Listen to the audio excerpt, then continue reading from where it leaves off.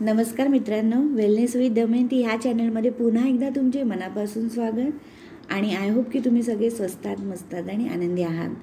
आणि पुन्हा एकदा मी तुमच्यासाठी छोटासा पण सुंदर असा विचारांचा व्हिडिओ घेऊन आलेली आहे. सो शेवटपर्यंत नक्की ऐका. मित्रांनो तुम्हाला गरुड हा पक्षी माहिती आहे का? तर जो गरुड आहे ना त्याला ना वादळ खूप आवडतं. जेव्हा ढग आहे ना दाटून येतात. तेव्हा गरुडाला नवा उत्साह येतो. त्या वादळाचा वापर करून तो स्वतःला आणखी उंचावर नेतो. एकदा का त्याला त्या वादळाची गती मिळाली की तो त्याच्या साह्याने स्वतःला ढगांच्याही वर नेतो. तिथे त्याला स्वच्छंदपणे विहार करता येतो. दरम्यानच्या काळात सगळे पक्षी झाडांच्या फांद्या आणि पानांमध्ये दडून बसलेले असतात. तर ह्याच्यातून आपल्याला काय शिकायला मिळतं?